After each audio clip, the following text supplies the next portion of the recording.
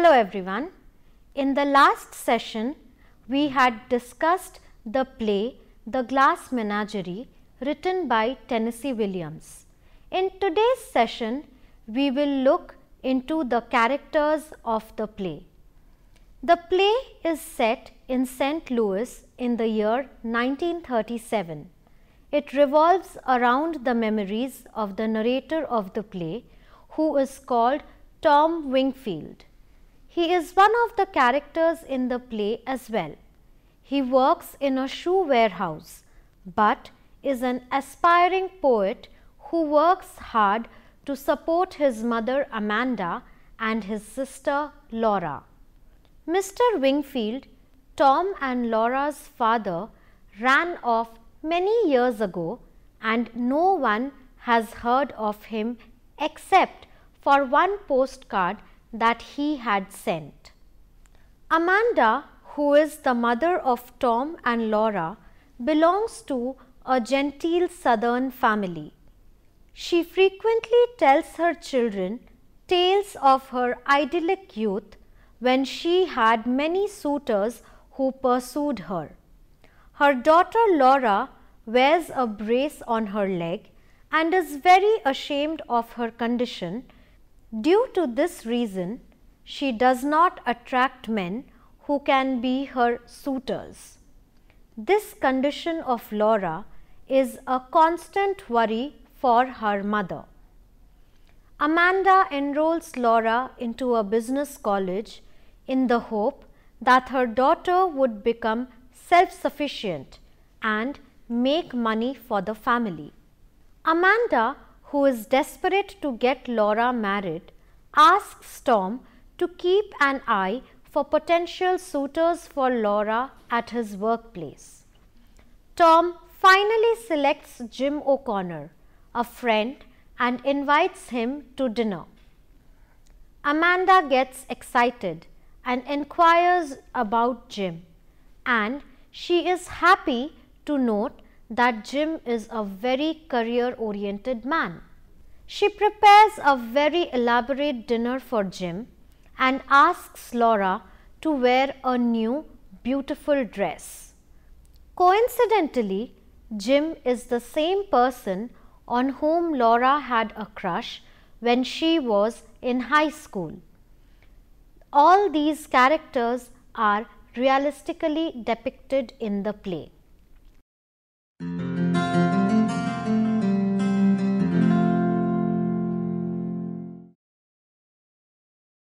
Amanda Wingfield. She is Laura and Tom's mother. She is a proud, vivacious woman who clings to the memories of a vanished past. She is admirable, charming, pitiable and laughable. She is a faded southern belle who has received a traditional upbringing, but she has suffered a reversal of economic and social fortune at some point in her life. She has a hard time coming to terms with the new status in society which disregards the social distinctions that she was taught to value.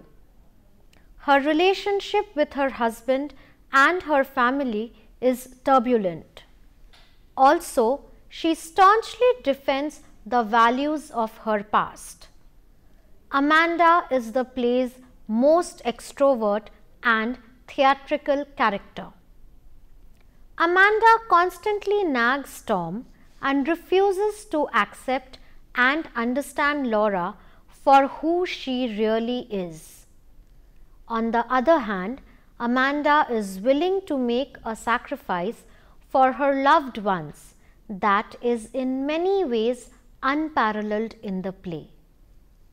Without voicing any complaints, she takes up the job of selling magazine subscriptions for improving their financial condition. This in turn will improve Laura's marriage prospects. Her flaws are centrally responsible for the tragedy, comedy and theatrical flair of her character. Like her children, Amanda too withdraws from reality into fantasy. Unlike them, she is convinced that she is not doing so and is constantly making efforts to engage with people and the world outside her family.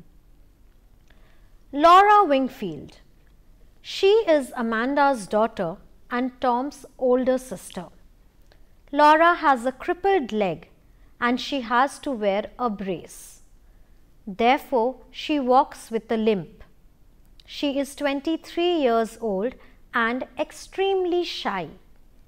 Due to this, she has withdrawn from the outside world and devotes herself to listening to old records and treasures her collection of glass figurines. Physically and emotionally crippled Laura is the only character in the play who never does anything to hurt anyone else. She also has the fewest lines in the play. This contributes to her aura of selflessness.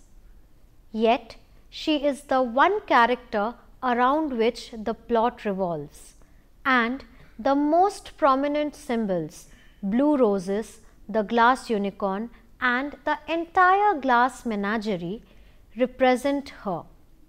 Laura is rare and peculiar as a blue rose or a unicorn and she is as delicate as a glass figurine in her collection.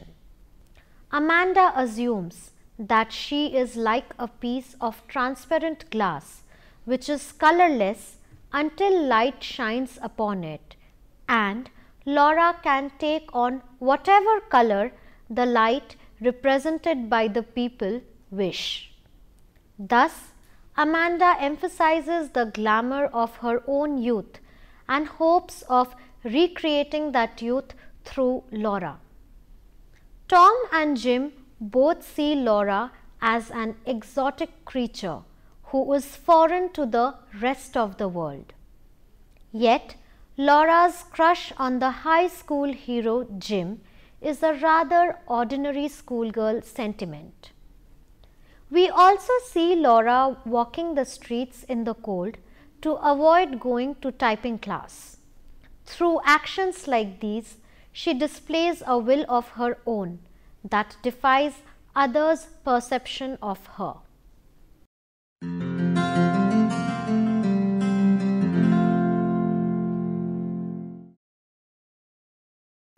Tom Wingfield. He is Amanda's son and Laura's younger brother. He is an aspiring poet and works at a shoe warehouse to support the family. He is frustrated with the daily routine of his job and escapes from it through movies, literature and alcohol. Tom plays a double role in the glass menagerie. He is a character who recollects and documents the play and also a character who acts within those recollections. Tom sometimes addresses the audience directly. He provides a more detached explanation and assessment of what is happening on stage. At the same time, he demonstrates real and sometimes juvenile emotions as a character in the play's action.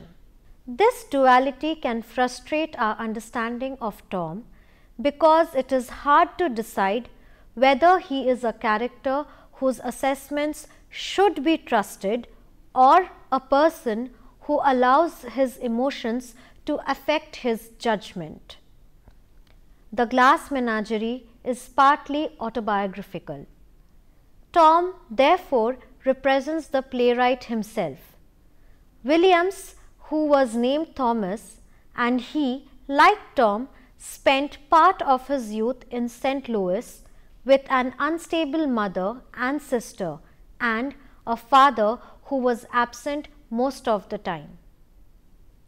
Tom is full of contradictions. The audience knows that he reads D. H. Lawrence and follows political developments in Europe, but they are not able to discern the content of his intellectual life. All they learn is what he thinks about his mother, his sister, and his warehouse job, and that he wishes to escape from all of them. Tom's attitude towards Amanda and Laura is quite puzzling. Even though the audience sees that he cares for them, he is frequently indifferent to and even cruel towards them. His speech at the end of the play demonstrates his strong feelings for Laura, but he cruelly deserts her and Amanda. He does not behave in a kind or loving manner towards Laura, not even when he knocks down her glass menagerie. Jim O'Connor. He is an old acquaintance of Tom's and Laura's. Jim was a popular athlete in high school, but is now a shipping clerk at the shoe warehouse in which Tom works. This is in contrast to what he was in high school. Back then, he was a popular guy who participated actively in school activities. People thought that he would do wonders in life, but he lands up doing an ordinary job in the shoe warehouse. He is unwaveringly devoted to goals of professional achievement and ideals of personal success. He is kind to Laura and tries to raise her self esteem, but is not romantically attracted to her as he is engaged to another girl. Mr. Wingfield. He is Amanda's husband and Laura and Tom's father. Mr. Wingfield was a handsome man who worked for a telephone company. He abandons his family years before the action of the play and he never appears on stage. His picture, however, is prominently displayed in the Wingfields' living room. He comes across as an escapist who is incapable of taking the responsibility of his family. Tom has his traits as he too abandons the family in the end.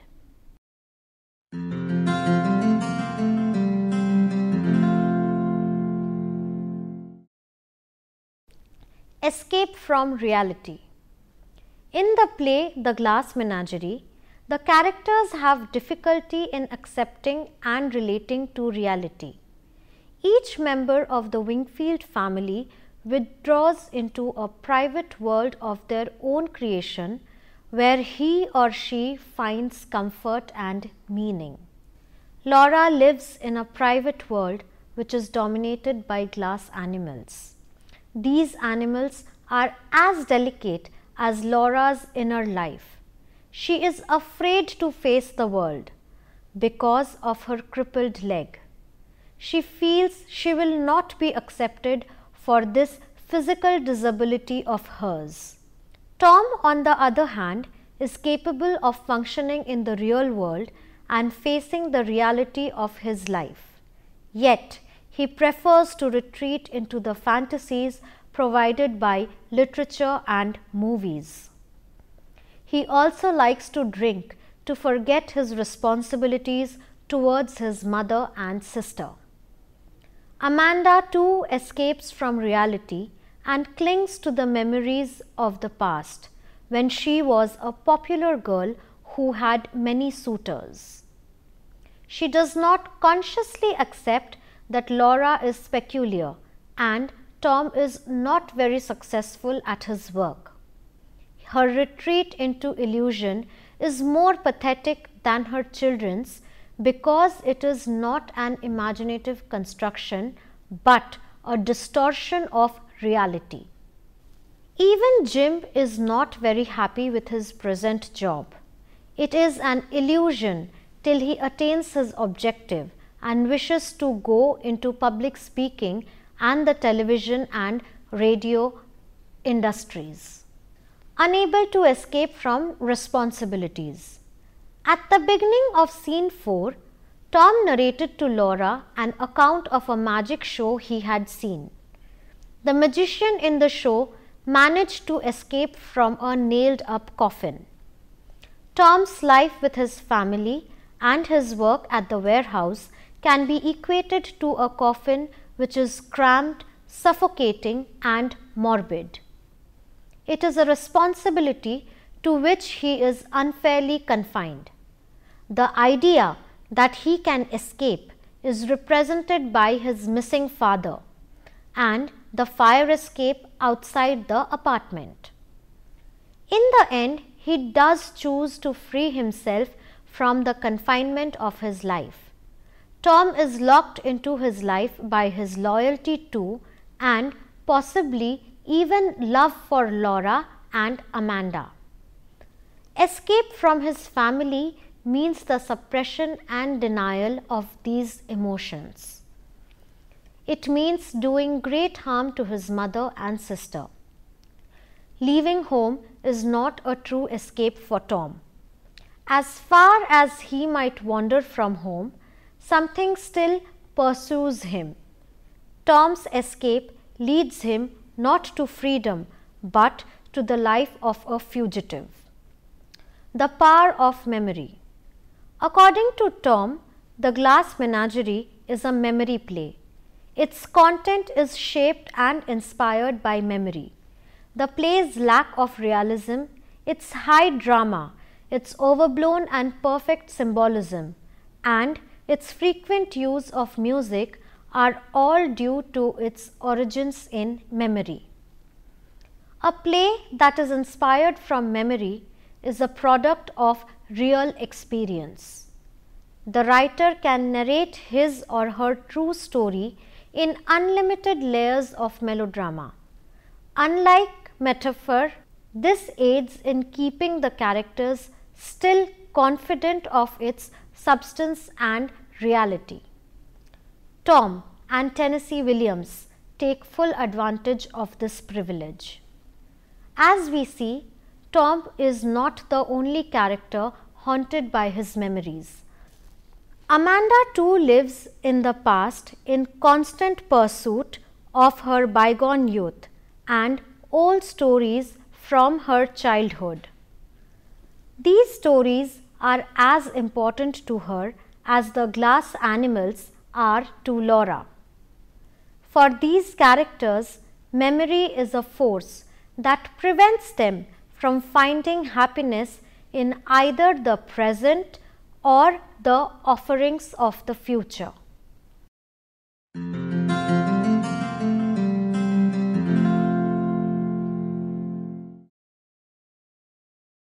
Desertion or abandonment. The glass menagerie is structured around a series of abandonments. Tom's father, Mr. Wingfield's desertion of his family shapes their life situation.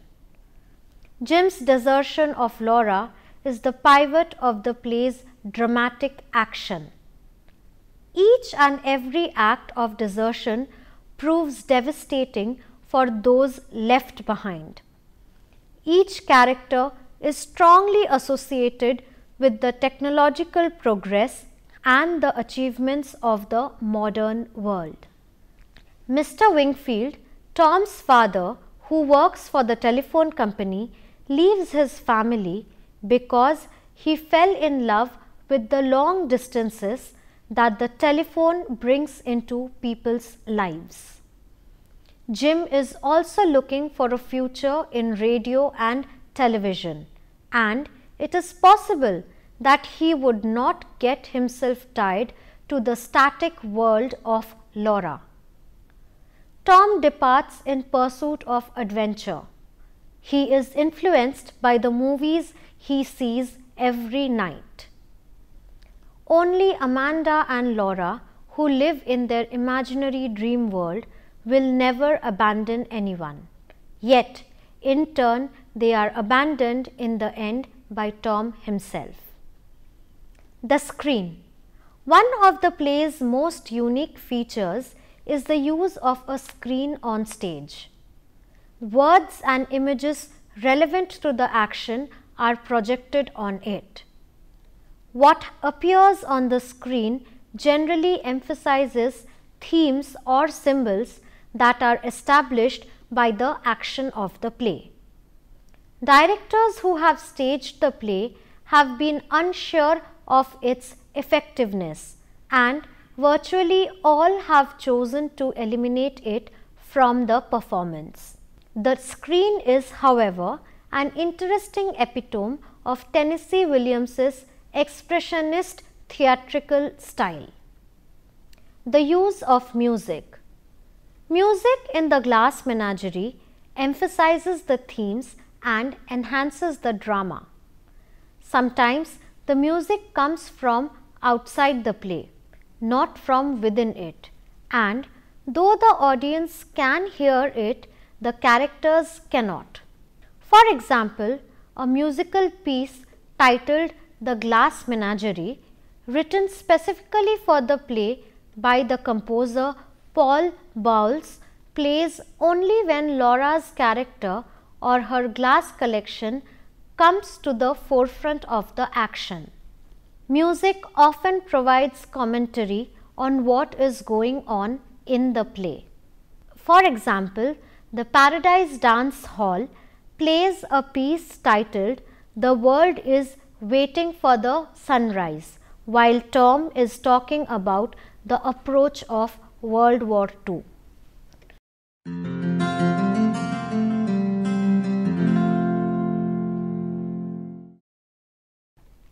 Laura's glass figurines or the menagerie. The glass menagerie or collection of glass animals is the play's central symbol. Laura's collection of glass animals represents her personality. Like the figurines, Laura is delicate. Glass is transparent, but when light shines on it, it refracts a rainbow of colors. Similarly, Laura, though quiet around strangers, gets comfortable with them once she knows them better. She can be a delight and she opens up like a rainbow. The menagerie also represents the imaginative world in which Laura lives, a world that is colorful and enticing, but it is based on fragile illusions. The delicate glass unicorn. Among the glass collection that Laura has, the unicorn is her favorite figure. It represents her uniqueness and her peculiar nature. Jim points out unicorns are extinct in modern times and they are lonesome creatures as a result of being different from other horses. Similarly, Laura too is different and unusual. She is lonely and cannot adapt to the world around her. She is painfully aware of her handicap and this makes her lead a secluded life. Jim makes her feel comfortable and this makes Laura feel normal around him. When Jim dances with her and kisses her impulsively, he stumbles and the unicorn's horn breaks off. It becomes just another horse. When he tells her that he is engaged, Laura is hurt. She gives Jim the unicorn as a souvenir because without its horn, the unicorn is more suitable for him than for her. The broken unicorn represents all that he has taken from her and destroyed in her. The name Blue Roses. Just like the glass unicorn, Blue Roses is Jim's high school nickname for Laura. It symbolizes Laura's unusualness. The name is also linked with Laura's attraction to Jim and the joy that his kind treatment brings her. Furthermore, it reflects on Tennessee Williams' sister Rose, on whom the character of Laura is based. The fire escape. The fire escape leads out of the Wingfields' apartment with a landing. For Tom, it's an escape from the fires of frustration and dysfunction that are present in the Wingfield household. Laura slips out of the fire escape in scene 4, showing her inability to escape from her situation completely. Tom, on the other hand, frequently steps out onto the landing through the fire escape to smoke, hoping that he would eventually get away from his responsibilities. With this, we come to the conclusion of the present session. Hope you all enjoyed it. Thank you.